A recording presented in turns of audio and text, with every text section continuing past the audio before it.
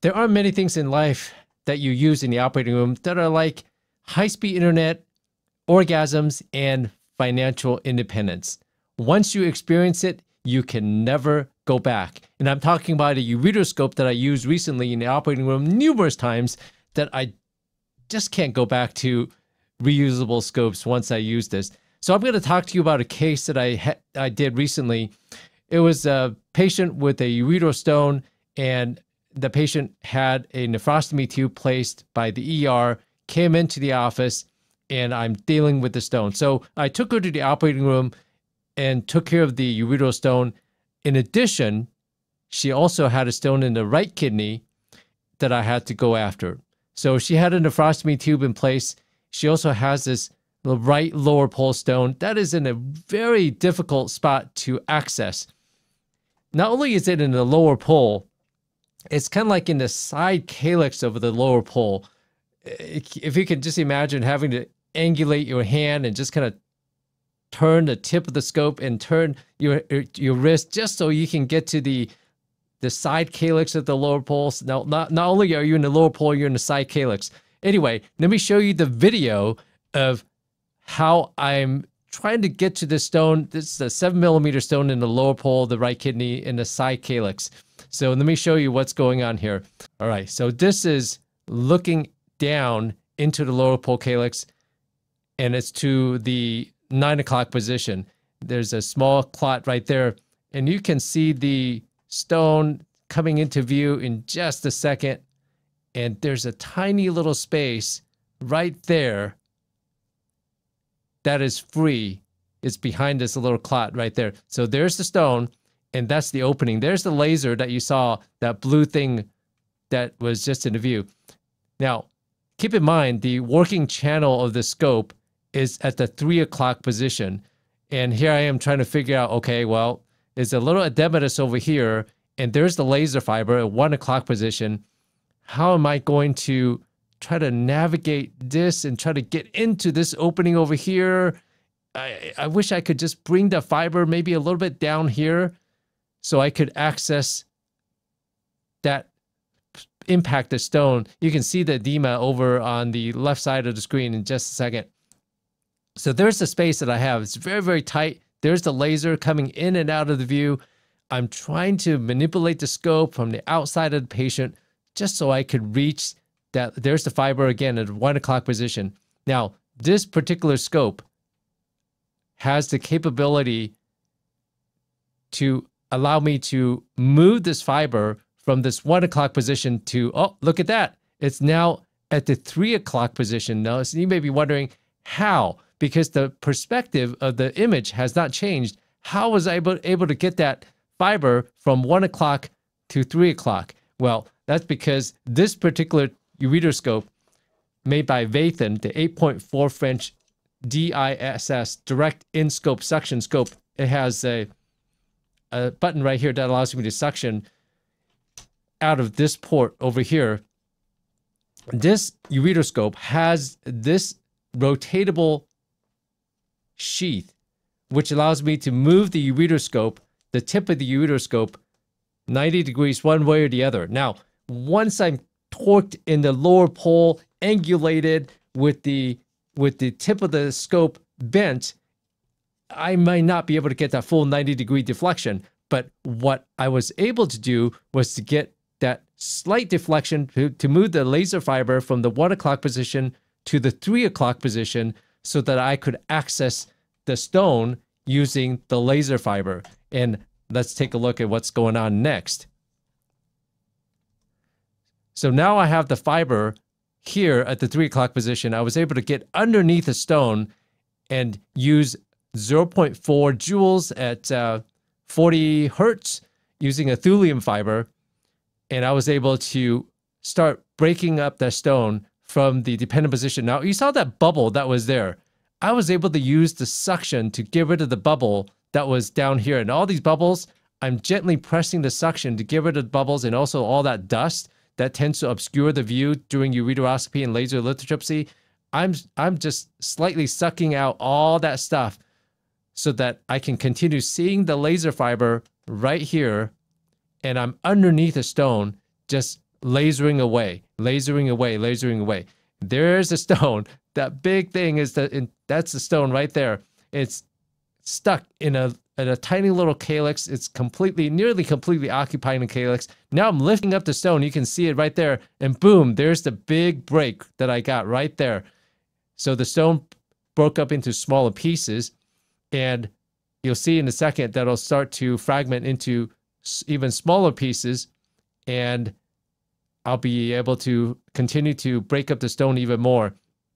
And eventually, I'll be able to completely uh, break up the stone and evacuate all the stone out of this side calyx of the lower pole. So keep in mind, it looks nice and easy right now, uh, in actuality, on the outside of the patient, it's not so easy to reach this side calyx of the lower pole. I rotated the laser fiber now back to the one o'clock position using the ureteroscope because I don't need to be in a dependent position anymore. So I'm able to continue to laser the stone and break it up into smaller pieces. A little bit of popcorning effect right there. I like to keep the intrarenal pressure nice and low. Also, I like to keep the output of the laser less than 20 watts because I'm also mindful of the intrarenal temperature as I'm doing this laser lithotripsy. Okay, now the the stone is is broken up into smaller pieces and eventually I was able to get down to the lower lower pole and and just get rid of the stone fragments in the lower pole and this is what it looks like now so i'm looking down flexing down into the lower pole and you'll be able to see there's the lower pole and there's the side calyx to the left here up there in that little hole you can see a little bit of edema and this is where that big stone was in this area it's all gone it's it's all gone all the the big stone is all gone. You got tiny, tiny, tiny little pieces that are it, it's it's insignificant. Talk about clinically insignificant. Those are really clinically insignificant uh, fragments. Again, this is the side calyx of the lower pole. Okay, now you may be wondering what's going on. What happened to all the fragments? This is in renal. This is in renal pelvis right now. This is the nephrostomy tube, and this is some of the fragments that I created from breaking up that lower pole stone. I have currently no, I have nothing in the working channel, which is a 3.6 French working channel. I have nothing in the working channel. Uh, I do have a 10, 12 French ureteral access sheath up in the right ureter. So I'm really trying to keep the intrarenal temperature down. And during laser lithotripsy, I try to keep it less than 20 watts and not continuously laser the stone allowing time for the irrigation to circulate and cool off that intrarenal temperature. So I try to keep it under 20 watts. I broke up the stone into tiny little fragments, and this is the resulting fragment collection in the renal pelvis. And the blue thing is the nephrostomy tube that the patient uh, had placed by inter- interventional radiology before she came and saw me. So again, remember this picture. This is the dust from the laser lithotripsy. This is the nephrostomy tube. Okay. The working channel, 3.6 French with the ureteroscope, is located at the three o'clock position. I moved the ureteroscope near these stone fragments, these these little debris, the debris field right here, and I pressed the button to suck out all these little pieces right there. All the pieces that are in the renal pelvis. You don't have to worry, mm, Will that cause, would that be a nidus for the patient to develop another stone? Nope. I'm moving the scope near that and it's like a vacuum cleaner. I'm, I'm sucking out all the little fragments that remain in the renal pelvis. That's what I'm doing right there. So moving again, the working channel, 3.6 French working channel is at the three o'clock position. So I kind of move that near the stone fragments, the dust, if you will, and I'm pressing the suction sucking out all the little pieces. Let me jump ahead a little bit. There we go. Pieces, most of it is gone. And you can see that right there. gone. a little bit remain right there. Move it close to it. Press the suction and gone. it is so much, it is so satisfying to not only break up the stone, but also remove all that dust all that stuff right there you're just sucking it all out with the Vathin 8.4 French single use ureteroscope. And again, if I am being paid to make the video, I will disclose that. I am not being paid to make this video. I'm just super satisfied with this ureteroscope. It is the scope that I'm going to grab as my go to scope whenever possible when performing ureteroscopy because it saves me a lot of time and also it's very effective. Now keep in mind if you suck on the the mucosa of the uh, kidney, you can cause a little bit of edema. So always be mindful, be very gentle with the suction because with great power comes great uh, responsibility. There's a collection right there, gone, sucked out of the kidney. So anyway, you get the gist. Not only can you access the lower pole, you can rotate the entire length of the scope here, move the fiber to a location where you can get to the stone, start breaking it up, freeing up the stone, freeing up the calyx, and then you can evacuate the fragments using this button right here with this ureteroscope connected to suction. Now, you may be your surgery center may be saying, "Oh, this is too expensive," it's etc there is until the end of 2025 there is a tpt transitional pass-through code that your surgery center and the hospital can use mitigating the cost of the ureteroscope. I don't know how much it costs but it's it's a pass-through charge so your surgery center and your hospital are not eating the cost of the ureteroscope. I would recommend that you highly consider using this. Try it. Make sure you understand how to use it. Make sure you take advantage of the suction port. You don't have to press it all the way down. You just gently touch it and it does a great job. Connect this to 400 millimeters of mercuries of suction right here. And then use this button liberally and gently. Again, with great power comes with comes great responsibility.